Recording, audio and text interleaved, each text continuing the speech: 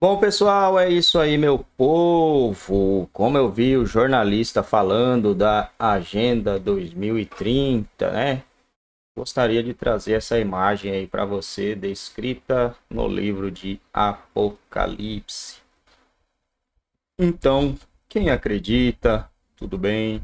Quer dizer, quem não acredita, tudo bem, mas para quem acredita, né? Se os governos estão adotando é, a ideologia da ONU e ela criou esse símbolo aí, né, com pata de urso, asa de não sei o que, rabo de não sei o que lá, até esqueci o que está descrito lá em Apocalipse. Faz jus, né? Faz jus ao que está acontecendo. É, como é que eles como é que eles estão fazendo? É, não vai poder comprar e nem vender aquele menino lá que eu esqueci o nome de Monark não pode comprar e nem vender, né? Ele não pode vender sua mão de obra, que é o seu trabalho, né? Para ir adquirir dinheiro também não tem como ele adquirir dinheiro por e ele não pode comprar.